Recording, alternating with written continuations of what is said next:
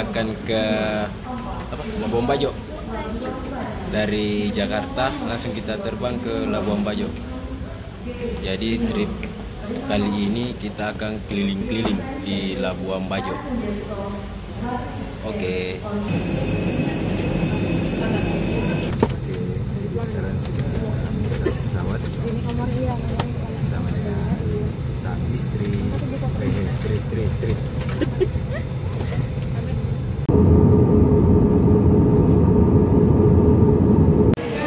Ya, selamat datang di Labuan Bajo.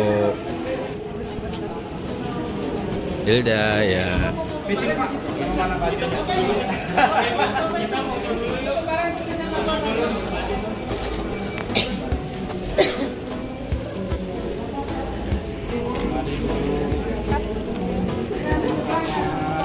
kasih Pak. Selamat datang di Manggarai. Selamat datang. Jadi setelah dikasih kayak sal begini, kita lanjut.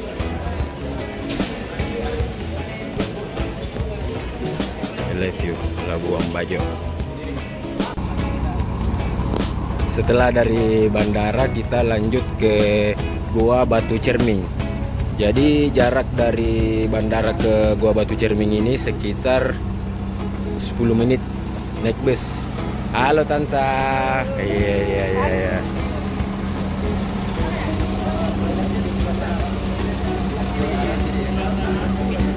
Jadi ini suasana di area Goa Batu Cermin.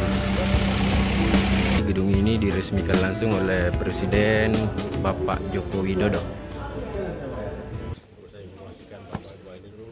ditemukan oleh seorang misionaris, ya, seorang pastor dan juga seorang arkeolog dari Belanda bernama Theodor Verhoeven.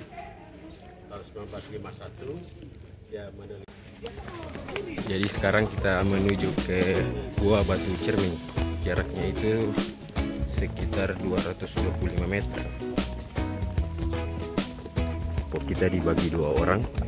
Kelompok pertama itu sebanyak 14 orang. Hitam bambunya panjang.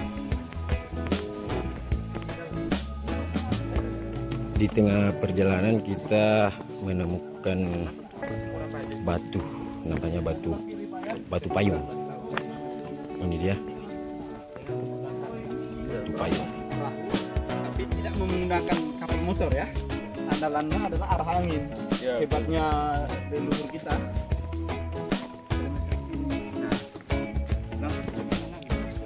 Iya. Di sini ada semacam batu yang berbentuk payung. Ini terbentuk katanya secara alami.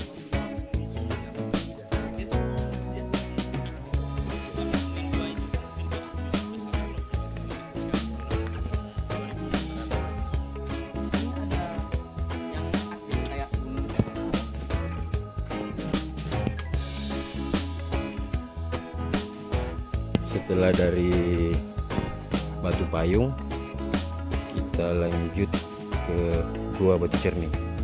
Jadi di sini itu aturannya dilarang merokok.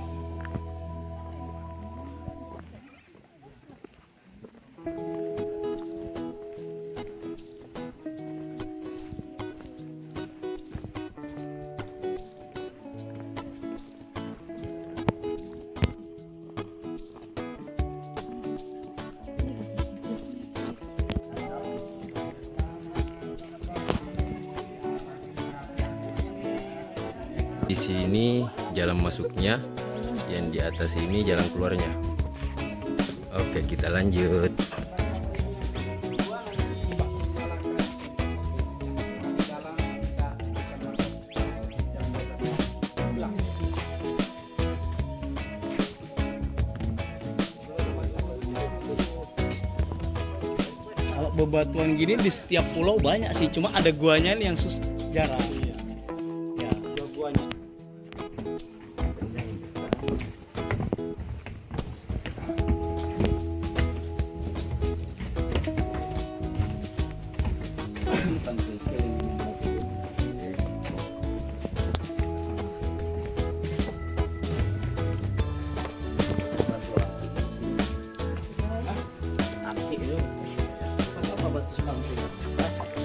Jalan masuk menuju Gua Batu Cermin.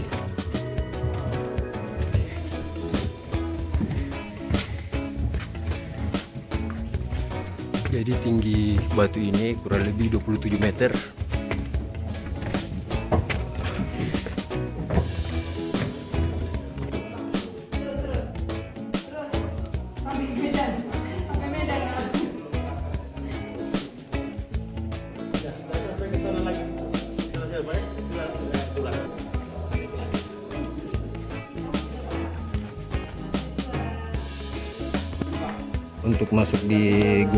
Kita harus memakai helm yang sudah disediakan oleh pengelola. Helm-helm ini melindungi kepala Bapak Ibu dari sengatan stalaktit ataupun sengat- sengatan bebatuan ya. Kita tinjau proyek di dalam. Nanti grupnya Uno. Oke, ambil nafas yang dalam. Hati-hati Bapak Ibu. Di atas kepala Bapak Ibu ada stalaktitnya, ada stalaktitnya juga. Berapa jauh? Ini sampai di dalam itu kurang lebih 8 meter, Pak. Oh ini, 8 meter aja. Oh aja. Jadi aksesnya yang agak sulit itu di luar ini. Aksesnya harus lewat sini. Enggak, mau keluar sebentar ada. Tapi akses masuk ke dalam gua itu satu-satunya itu. Tembus sini. Oh begini. Gak bisa pulang sambil ini ya. Video ya. Gimana? Mari, Pak.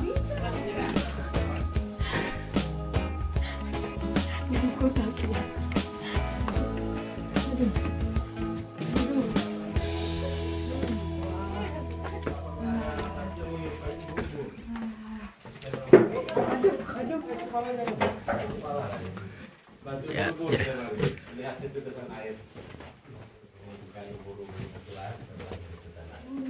Nanti yang fosil penyu nanti tidak. Enggak, maksudnya batu yang berupa bayi itu. Nah, ini. Ini, Pak. ini. Oh. Kayak mana sih kak? Itu kan seperti bayi. Oh iya, baik mau ada masuk ya. Ya ya, belakangnya belakangnya. Iya. Oh, kira aduh. Ini tembus ke mana mas? Masih lurus terus. Kalau ini ke dalam? Kalau itu buntu nanti. Oh buntu. Ternyata itu buntu. Pelan-pelan ya, pegang helm. Ini ada satu bentuk batu ini. Kami sebutnya batu susu.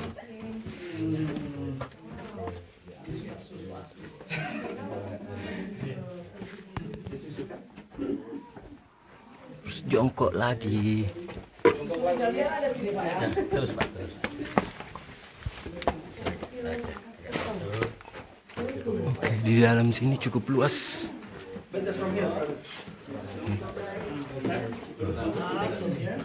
Mari bang. Ada ruangan uh, terbentuk secara alami.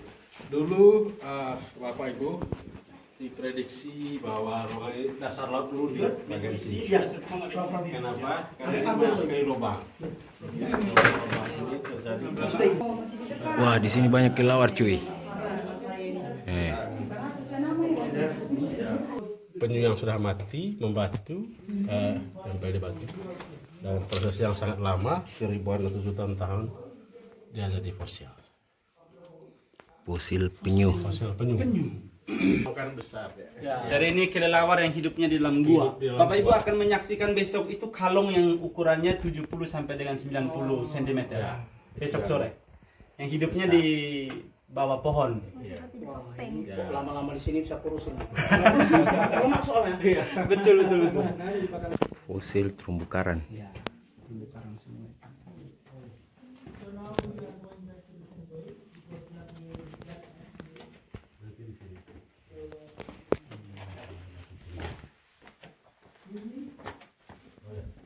Oke terus duduk sepatu Kasih jalan. Sisi kiri. ya maaf batunya batunya langsung berwarna apalagi Good batunya fosfor ini bukan. Setelah dari Gua Batu Cerming, kita kembali keluar dengan jalur yang berbeda. Hilda. Kelihatan aku dia dari bawah tas, dari sepatu. Mantap ini cantik Suka hiking kan bang? Ya, Nah, ikut. Mungkin eh, bisa berfoto-foto di Pulau Pada. Terus nanti kita juga bisa melihat eh, salah satu mamalia yang dilindungi di dunia yaitu eh, komodo ya, Bapak Ibu. semua. saya mau perkenalkan diri dulu. Eh, perkenalkan nama saya Viali. Jadi saya bersama Mas Novo itu menjadi pendamping Bapak Ibu semua. Atau saya panggil teman-teman aja ya biar akrab ya.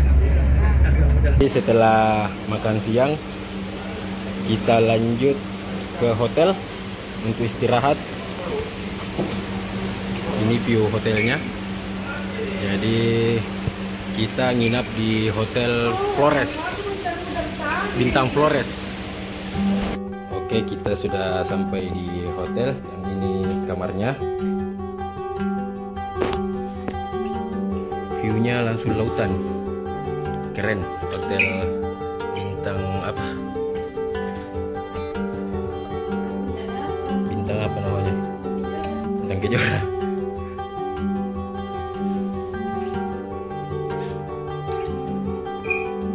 kita istirahat dulu baru sebentar jam 4 kita lanjut setelah istirahat di hotel mandi terus kita lanjut ke jalan puncak Waringin. Dan di sini viewnya sangat luar biasa. Nampak begitu kapal pinisi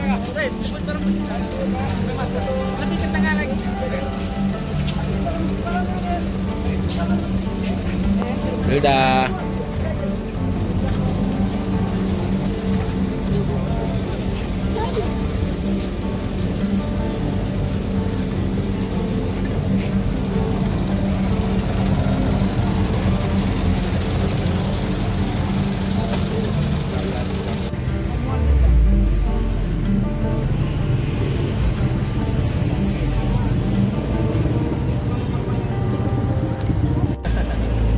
Oke, sekarang kita lanjut lagi.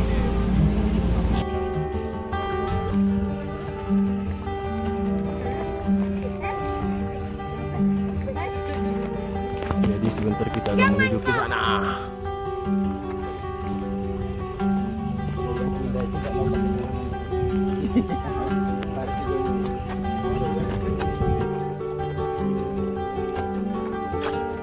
Setelah dari Bukit Kamelia, kita lanjut makan malam di salah satu resto dengan view yang sangat luar biasa.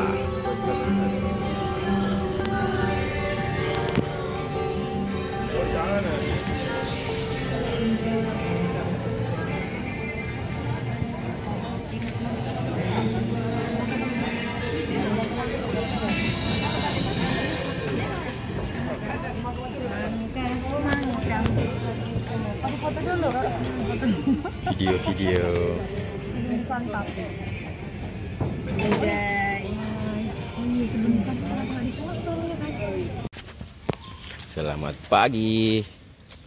Jadi ini lokasi hotel kita menginap Bintang Flores. Jadi itu di atas kamar kita. Di belakangnya itu langsung view laut.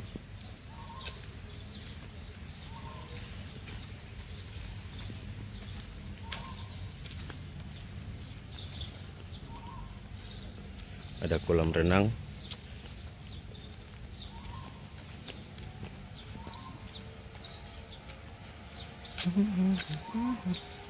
Ya.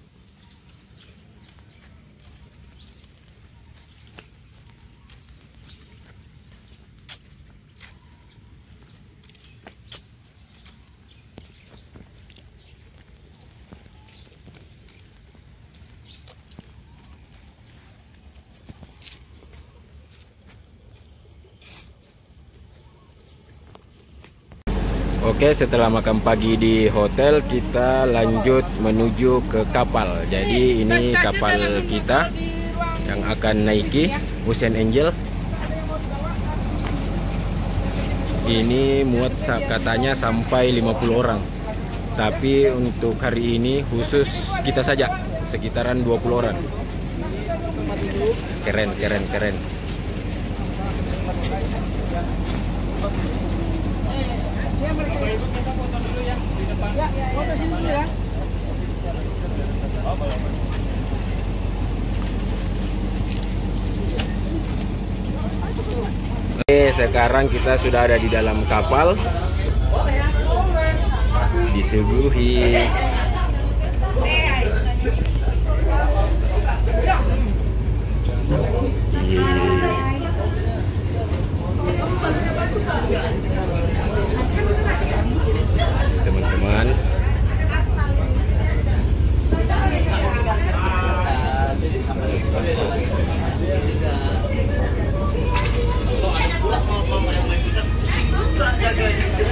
minuman lain juga yang sudah include eh, tapi tidak termasuk ya mungkin ada yang satu eh, yang minum bir juga ya itu saja yang tidak termasuk di sini bir sementara yang lain-lainnya itu sudah termasuk ya. Eh, live ring yang itu semua ada di kapal ini untuk memenuhi standarisasi kapal pariwisata eh, di Labuan Bajo. Sekarang kita menuju ke kamar di kamar 306. Ini dia kamarnya. Oh, luar biasa. Full AC. Keren keren keren.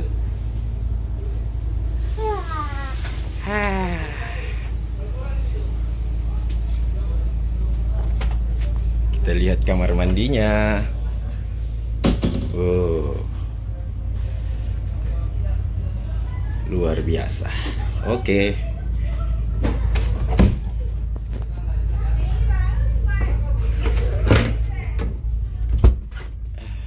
Kita ke Pulau Keller untuk trekking tipis-tipis.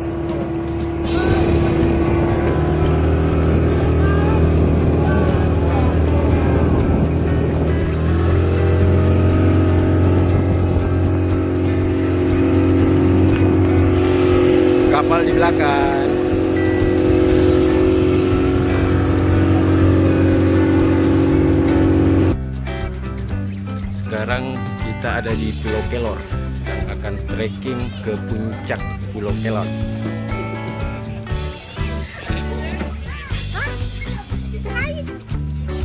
Star, star, star.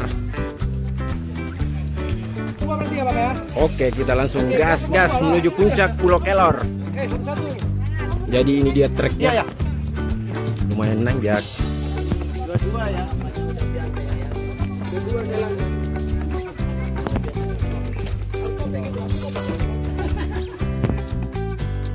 Masih di jalur menuju puncak Pulau Kelor. Semangat, bro.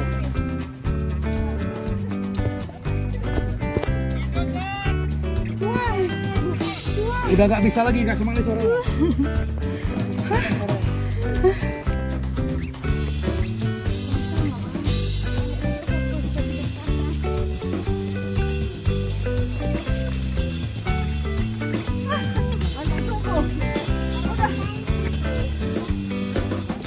Semangat, semangat.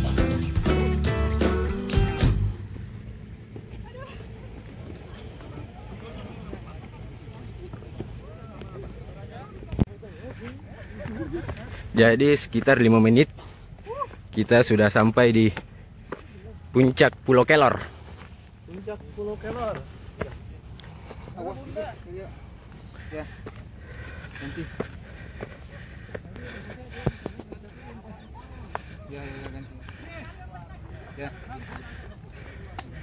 Puncak Pulau Kelor.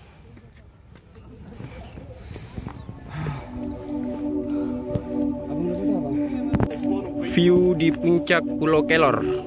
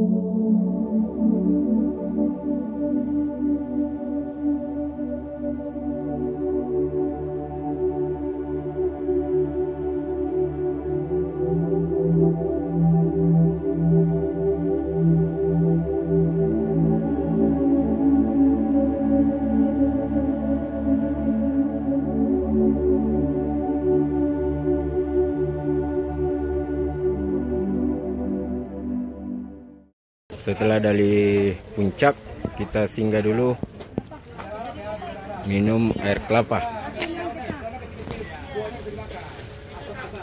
jadi harga kelapa di sini itu satunya 30.000 maklum karena ini di pulau jadi harganya berbeda lebih mahal dari biasanya Buahnya asam-asam manis gitu kan. Ini kecil kan. Apel kan. Manis. Ya ada dua jenis pak, ada dua jenis. Ada yang ada yang asli, ada yang Arab, ada yang di sini. saatnya kembali ke kapal. Setelah belanja souvenir kita kembali ke kapal untuk istirahat. Sore kita lanjut lagi. Oke go go go go go. Itu kapal kita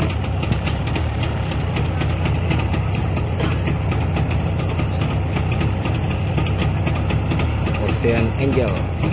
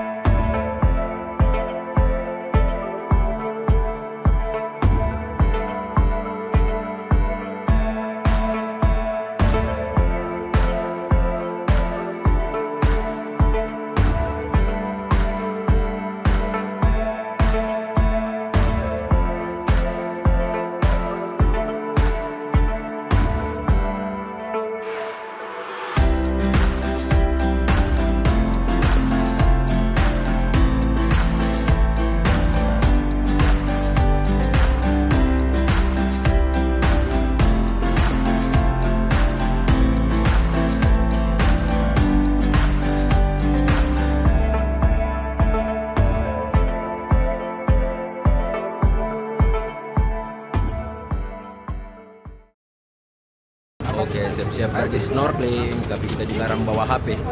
Bah, kapal sudah siap. Oke, go.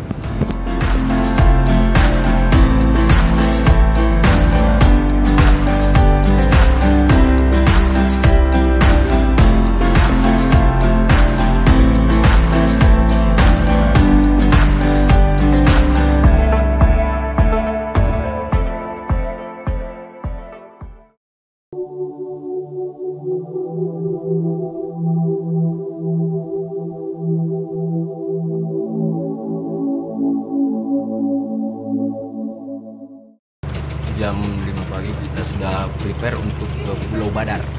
Dan akan trekking.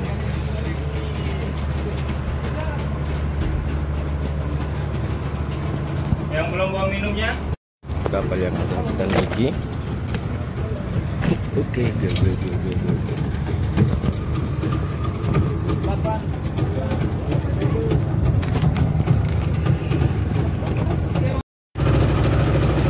Oke, jadi sekarang kita berangkat ke Pulau Badar.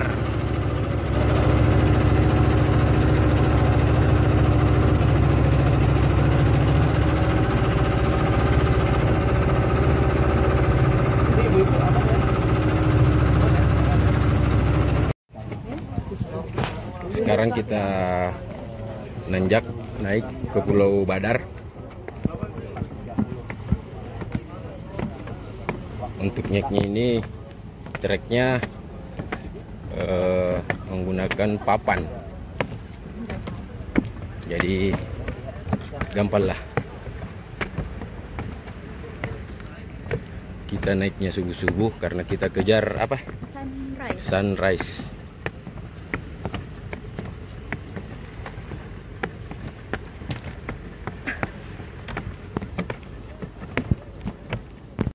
Yang jadi bu tambah hot. Pos 1 View di setengah perjalanan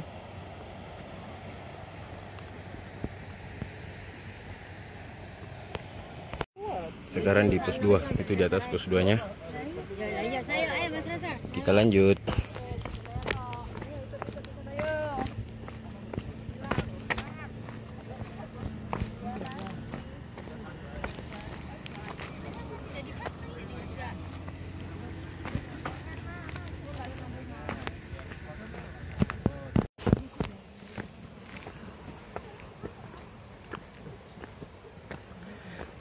Masih menuju puncak Badar, Pulau Badar.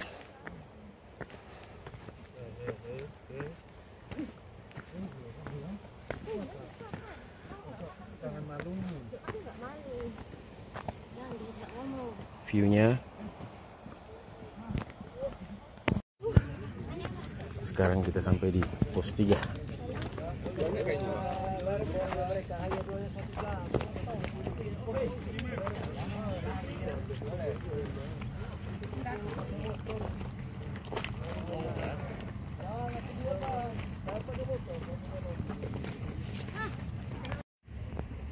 Setelah foto-foto di pos 3 Kita lanjut ke puncak.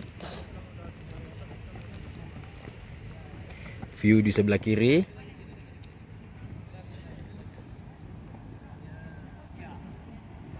Dan view di sebelah kanan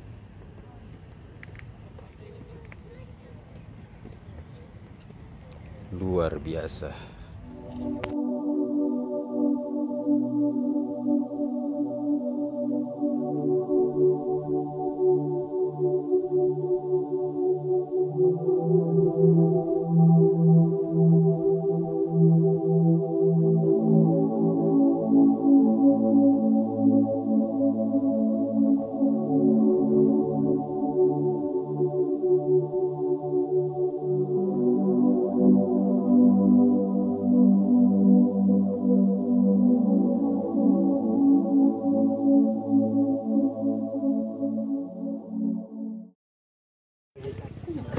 Sampai pos 4 Kita ngantrinya lebih lama. Ngantri di sini aja. Is.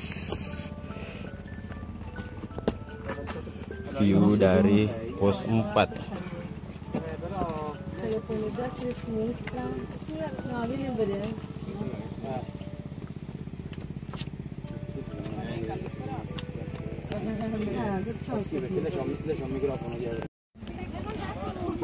Kita foto-fotonya di pos 4 karena di atas sangat padat. Jadi set- setelah foto-foto di pos 4 kita lanjut menuju puncak. Dan ini view-nya luar biasa.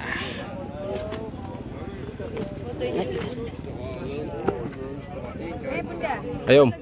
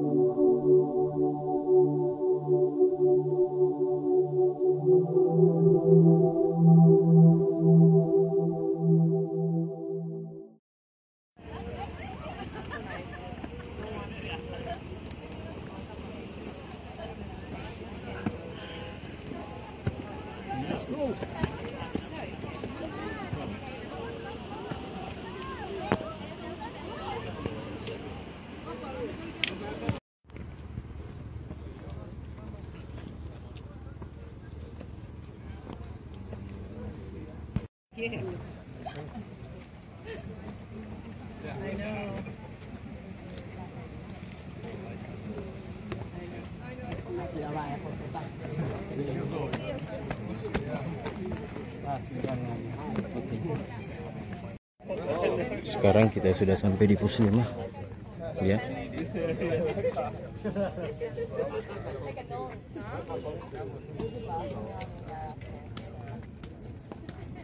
Dan ini view-nya dari pos 5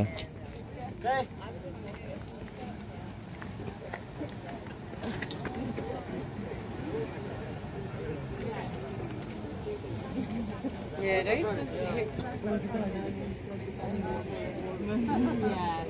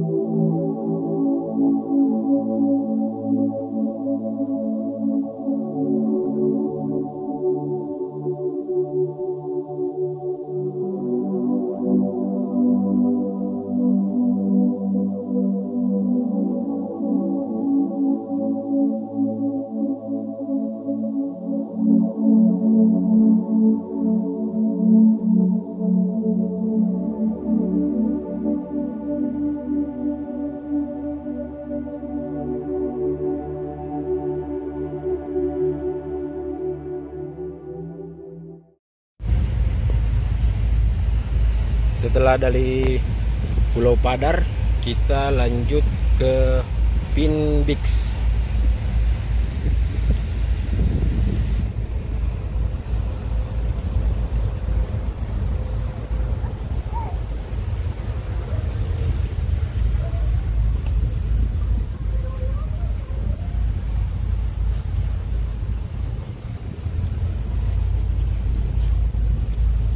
Jadi di Pinbix kita akan snorkeling.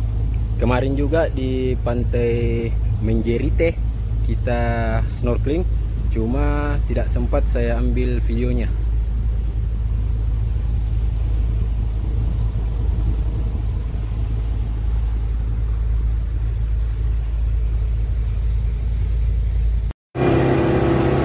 Oke, sekarang kita lanjut ke Pinbix untuk snorkeling.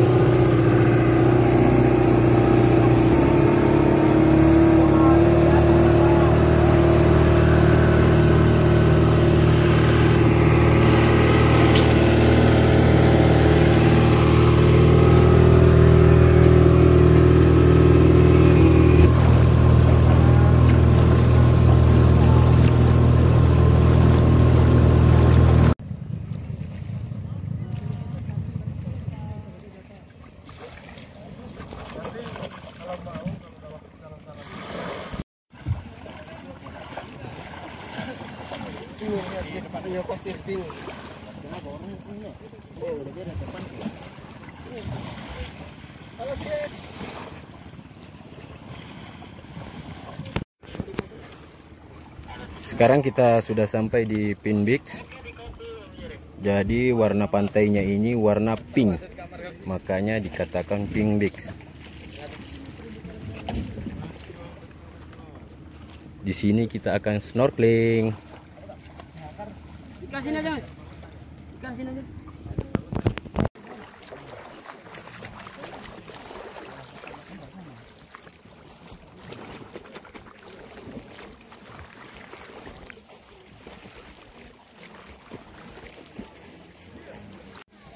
Oke, sekarang kita menuju ke laut.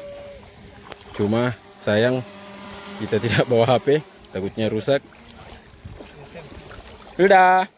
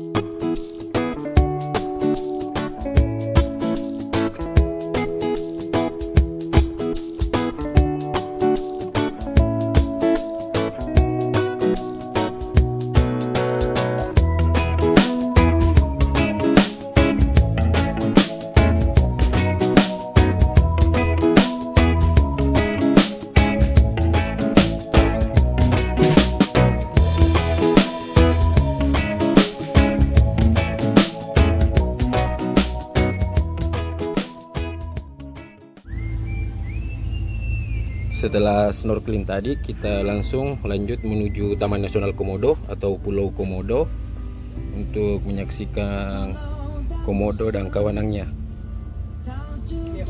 Perjalanan dari tempat snorkeling tadi sekitar satu jam setengah ke Pulau Komodo. Ini dia view-nya. Perjalanan menuju Pulau Komodo. Seperti biasa, kita naik kapal skoci-skoci menuju Pulau Komodo.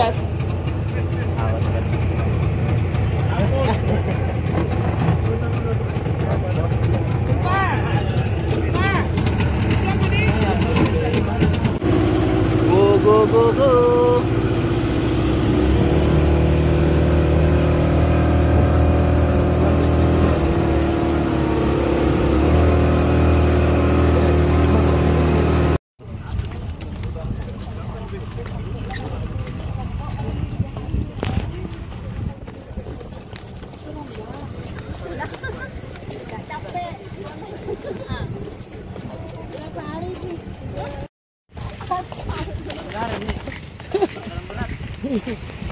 Dilarang.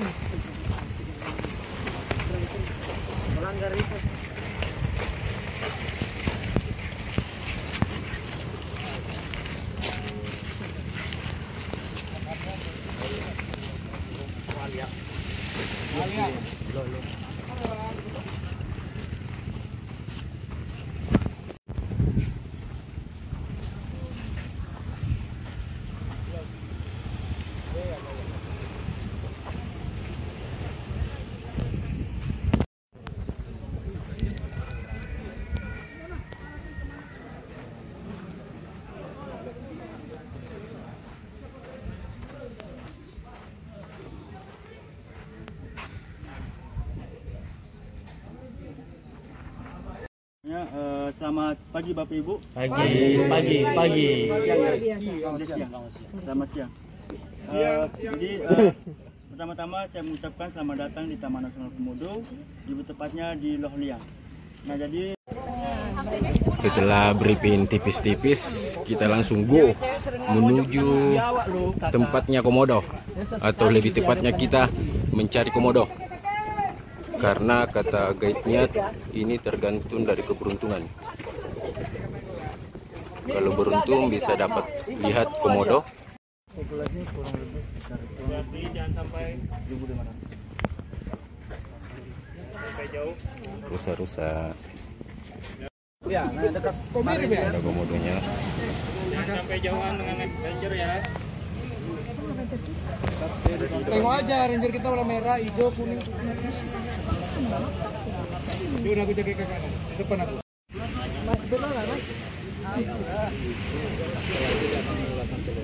Tapi dia akan gali berapa lubang Pak? Tapi itu satu lubang aja untuk menyimpan kepanjangannya semakin kuahnya Setelah foto-foto dengan komodo, kita lanjut lagi mencari komodo.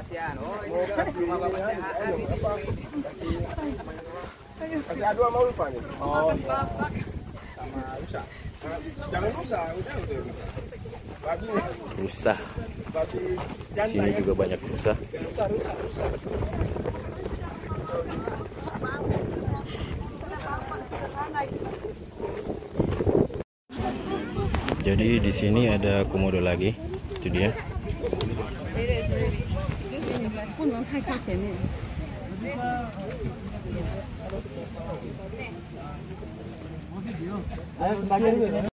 Trik lo makin panjang.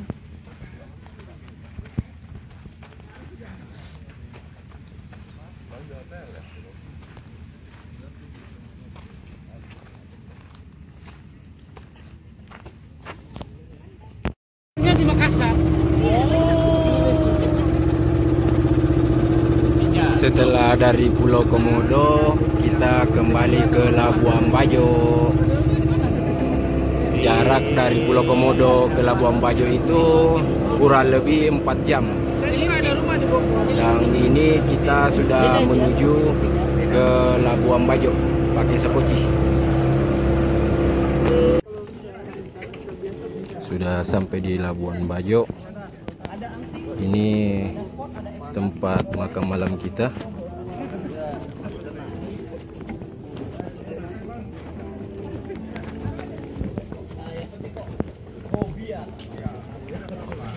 Atlantis on the rock.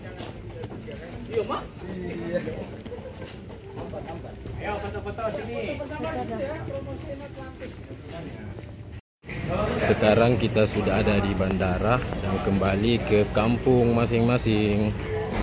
Terima kasih Labuan Bajo.